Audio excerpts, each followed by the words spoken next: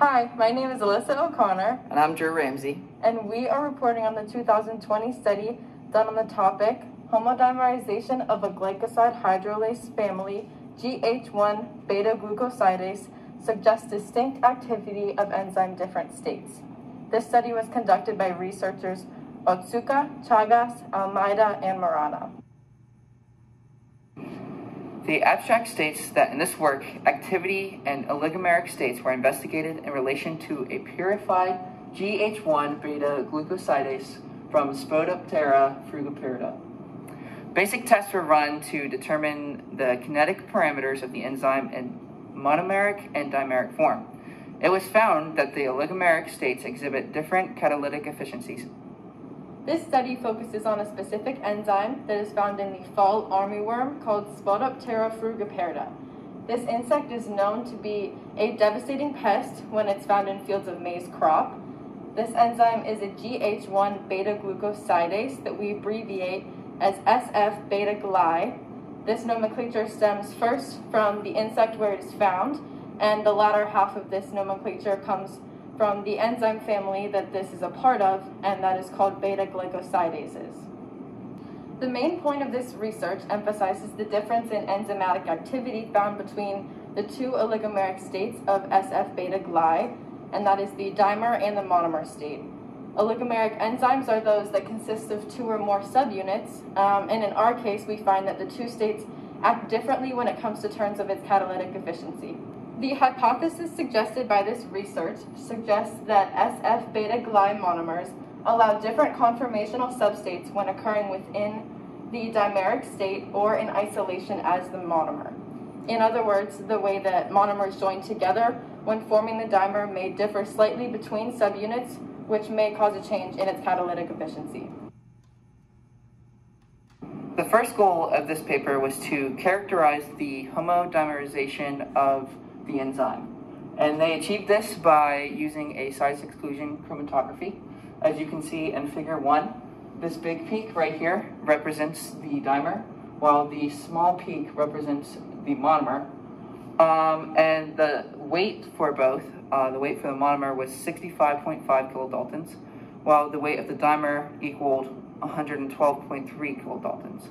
It's also important to mention that they ran it through a crystal, crystallographic structure uh, of the dimer, and it was shown that the path is not hindered when, it, when the monomers come together, so the substrate can still reach it. Our enzyme was also run through size exclusion chromatography under different concentrations to see what effect the uh, concentration would have upon the dimerization process.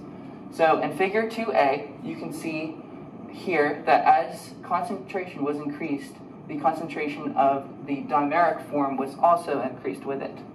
And then also in figure 2b is showing uh, the plot of the fractional dimer over the concentration of the R enzyme, enzyme, and they used this to calculate the KD, which was 3.7 micromolars.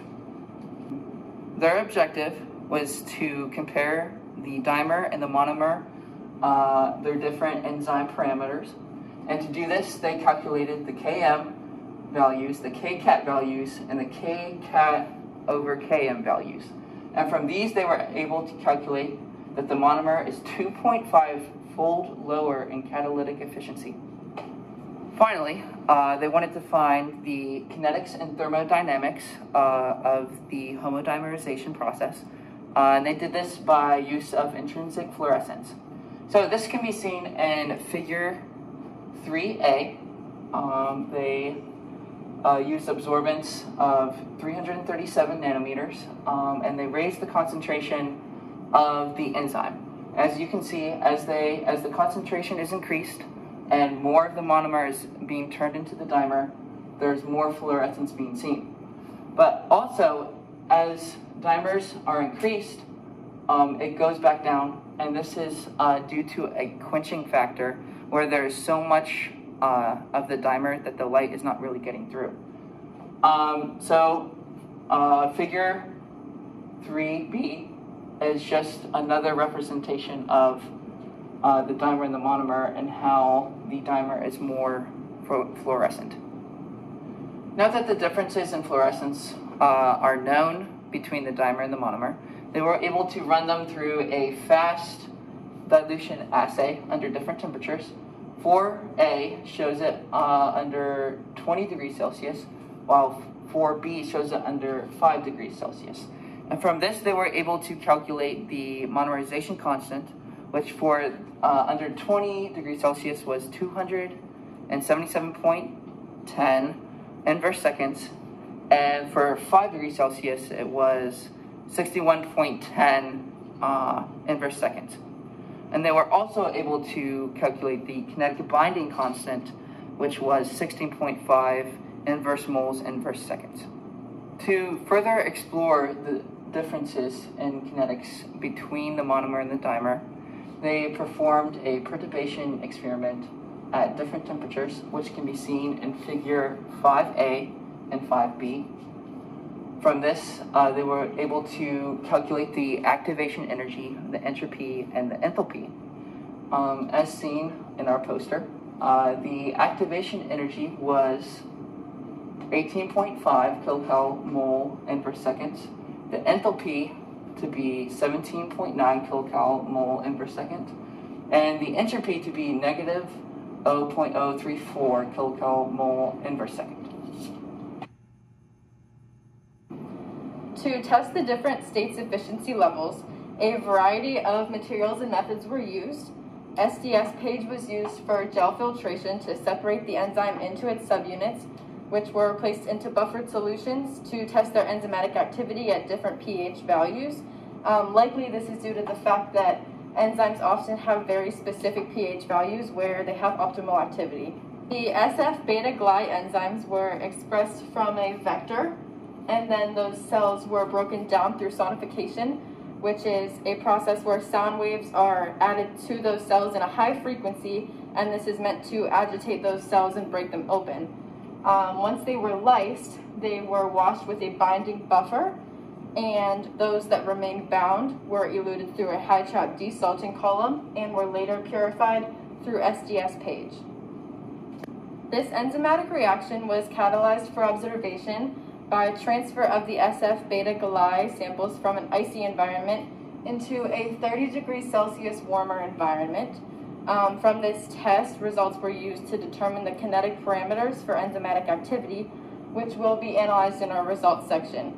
And lastly, size exclusion chromatography was paired with a fluorescence detector and it was analyzed at wavelengths 280 and 295 nanometers respectively um, the 295 nanometers was the excitation wavelength at which a photon was absorbed and electrons were excited into a higher energy level or a higher orbital. Um, and then at 337 nanometers, the emission wavelength was observed as the photon was emitted and electrons descended back down into their original ground state. So oligomerization, or joining of monomers, is typically done um, through a process called self-association, in which a monomer will join with another monomer that it's like itself, um, forming a dimer, or in this case, a homodimer.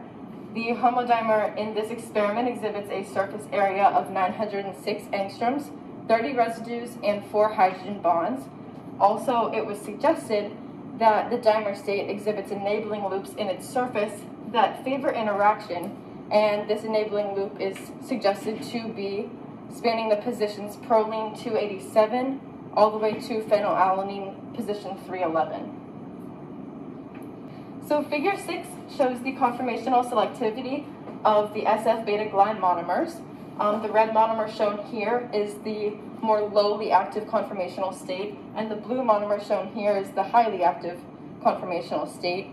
Um, the blue monomer is made through a conformational change undergone by the red monomer to one, get into a substate that's favorable for conformational selectivity, and two, to bind to another monomer that is similar to itself in order to achieve this lower energy state of the homodimer, which we find is highest in catalytic efficiency. So in conclusion, the homodimer of SF beta gly was found to be two and a half times more active than the monomeric state. Each dimer exhibits symmetry due to the conformational selection, where the two monomers that were alike join together to form that homodimer, and this results in the most stable and catalytically efficient product.